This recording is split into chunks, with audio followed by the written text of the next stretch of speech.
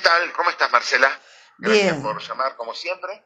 Eh, y bueno, terminando los días hábiles de esta semana que es más, más corta, eh, pero bueno, siempre intentando dedicarnos a, a- a- a recibir las inquietudes de la gente y de, y de, y de, y de llevarlas a la discusión en el, ámbito del Consejo, ¿no? Que es nuestro trabajo.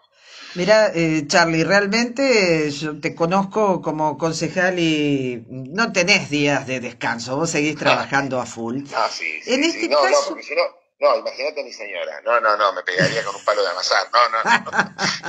No, no, indudablemente que también uno, uno tiene que ir regulando eh, la vida en familia, eh, mm, el, el vínculo con, con, bueno, mi pareja, mi vieja, mis hermanos, mis sobrinos. Por suerte tengo una familia grande, así que bueno, los amigos también, por supuesto, ¿no? No tenés que dejar, no tenés que dejar nada de lado. Sí, realmente. En este caso, Charlie, te quiero consultar por un tema. El tema las bajadas hacia el río Paraná y esto de tener ya pensado cobrar un canon. Informanos bien desde lo que es tu óptica como concejal. Bueno, sí, acaba de ingresar un proyecto firmado por la concejala Marina Magnani de la Cámpora, eh, en donde, bueno, ella eh, propone que se regule el uso recreativo y comercial de Paraná y cobrar una tasa para mejorar bajadas, ¿no? Eh, realmente mm, que el- a ver, acá hay un tema que nos hace ruido, que es el tema de las jurisdicciones, ¿no? Eh, porque vos sabés bien, los cursos de agua son jurisdicción federal, ¿no? Eh, eso lo, lo- lo tiene que controlar básicamente, por eso la- eh, todo el tema de- de- de- del control de las lanchas, del carnet de conductor para, para poder manejar una embarcación, lo tenés que sacar en prefectura. Exacto. Porque los cursos de agua, como el río Paraná, son una jurisdicción federal, una jurisdicción del gobierno de la nación, ¿no? Acá primer tema que queremos ver bien punto por, por- por punto cómo está eh, redactado el proyecto de la concejala Magnani. Ahora, eh, el segundo punto eh, tiene que ver, a ver, todo lo que podamos hacer para mejorar la relación entre el rosarino, el turista que viene a Rosario y el río, Buenísimo. bienvenido sea. Ahora, lo primero que hacemos notar es que, ojo, el, el río es una jurisdicción federal, entonces tenemos que ver, tenemos que ver bien qué podemos hacer para mejorar la promoción eh, y los servicios que se prestan en la zona del río, eh, sin, sin este, me- meter la pata en eh, entrar en, en cuestiones que no, nos, que no son de nuestra competencia. Punto número uno.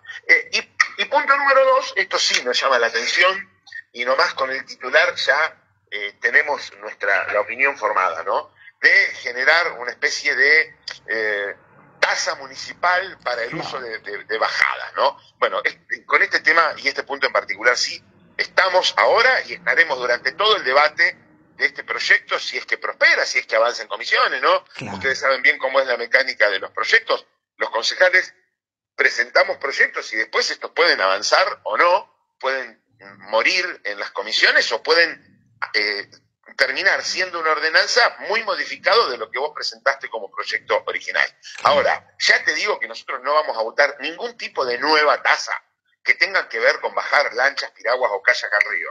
Porque además hay un incumplimiento por parte del Estado municipal de una ordenanza de hace muchísimos años que obligaba a la municipalidad de Rosario a tener por lo menos tres bajadas públicas.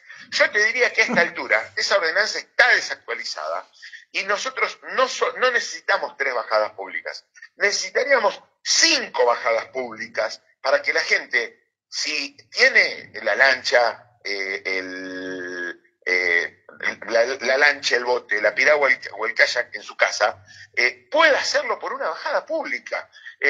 Acá vos necesitas una bajada pública, por lo menos, en la zona de eh, Costa Alta, otra en la zona de la Florida, otra en la zona del centro, ahí por la zona de los galpones de, de la Franja Joven, otra en, ya arrancando la zona sur, eh, la- muchísima gente de zona sur que tiene...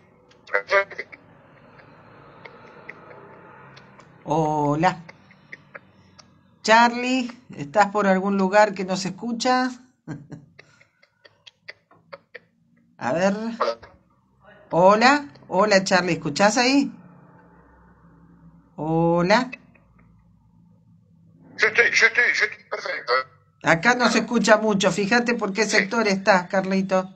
Dale, dale, dale, dale. ahí sí se escucha, ahí sí se ahí está, escucha. Ahí está, perfecto. No, digo, eh, retomo, necesita, no, a esta altura ya no necesitaríamos tres bajadas, necesitaríamos cinco, cinco, Otra ya para la gente de zona sur, eh, por Pellegrini, entre 27 y Pellegrini, y después, por supuesto, la bajada que está, eh, que tendría que tener una bajada pública indudablemente, la bajada Mangrullo, en donde vos solo podés bajar la lancha, el kayak con la piragua al río, eh, si estás asociado a alguno de los, de los clubes náuticos que hay en la bajada Mangrullo y que otra vez la gente de la zona sur, que tiene un vínculo tan especial con el río Paraná, eh, pueda bajar sus, sus, lanchas. Entonces, no podemos empezar a hablar de cobrar una tasa cuando es la propia municipalidad la que está incumpliendo la ordenanza de eh, tener bajadas públicas, ¿no?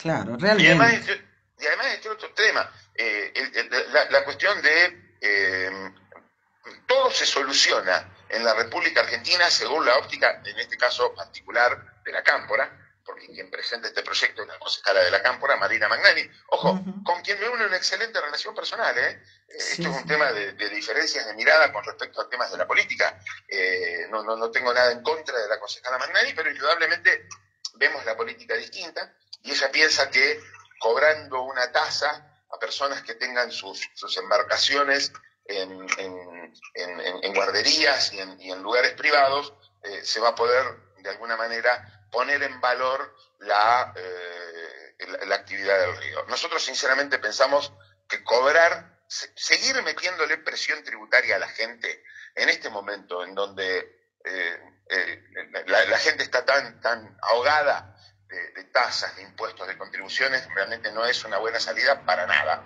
y tampoco para esto. Bien.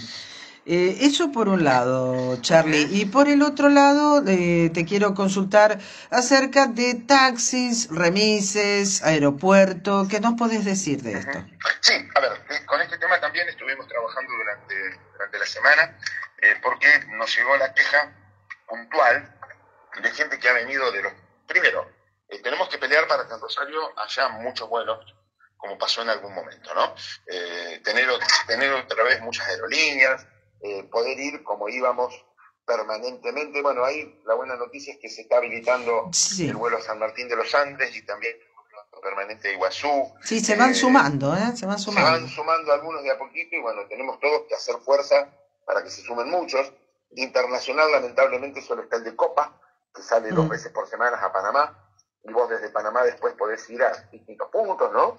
Estados Unidos, el Caribe, eh, incluso hasta, hasta Europa podés ir saliendo desde aquí, desde Rosario. Ahora, perdimos los vuelos de la TAM, perdimos los vuelos de Gol, perdimos los vuelos de FedSmart, eh, perdimos eh, una, cantidad enorme de vuelos en la ciudad de Rosario y lo que tenemos que hacer es todos juntos fuerza para recuperarlos. Hoy solo nos queda Aerolíneas y Copa. Lo que nosotros decimos es que mm, hemos recibido muchas quejas de personas que llegan al aeropuerto eh, de Mendoza, por ejemplo, eh, o, de Salta, que son los dos destinos turísticos nacionales que han quedado más fuertes, y que cuando llegan al aeropuerto no están ni los remises, estos con chapa del aeropuerto, que ahí también entramos en otra discusión de fondo, ¿no? Si el aeropuerto está bien, que dé o no dé el propio aeropuerto chapas de remises. Mm. Para nosotros no, está bien, está mal.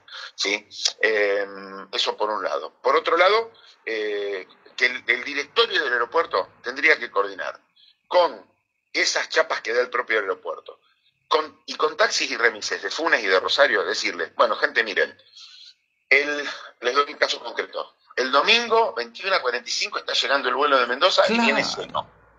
Entonces, ustedes tienen que tener una guardia de cobertura mínima para recoger a todos los pasajeros que llegan. Eh, sea taxi, sea remis, sea de Rosario, sea de Funes. Bueno, ¿cómo hacemos? Acá hay una planilla, anótense, porque nosotros tenemos que llenar la cantidad de eh, demanda que vamos a tener. Entonces, la gente llega al aeropuerto y tiene con qué volverse, mucha gente a Rosario y mucha gente a otras localidades del resto de la provincia que usan el aeropuerto de Rosario para ir a sus destinos turísticos, ¿no? Entonces, es un pedido que le hacemos, a ver, nuevamente, Marcela, vos sabés que lo nuestro es tratar de escuchar los pedidos de la gente y transmitirlos de manera constructiva, ¿no? ¿Cómo es la política en realidad? Algo que beneficia al pueblo. Vos, vos, sabés que nosotros, esa es nuestra forma, o es como entendemos la, forma de hacer política, ¿no? Pero respetuosamente dirigirnos al, directorio del Aeropuerto Internacional Rosario para decirle, miren, eh, el domingo llegan cuatro vuelos, porque esa es la cantidad de vuelos que llega el domingo. Cuatro, solo cuatro, lamentablemente. Bueno, perfecto. Listo. Tienen que armar un cronograma para cada uno de los cuatro vuelos eh, en donde pónganse de acuerdo con todos los remises y las agencias de taxi y díganle que tiene que haber una cobertura mínima para recoger a los pasajeros del aeropuerto hasta sus destinos, ¿no? Algunos vendrán hasta Rosario, otros irán a Funes, a Roldán, a Cañada de Gómez, a San Nicolás, o a los lugares en donde, a donde tengan que dirigirse. Muy buena la idea, Carlos. Eh, bien, te, te agradezco el tiempo, el tiempo compartido aquí para poder informar a la población directamente de lo que es eh, la voz de un concejal rosarino.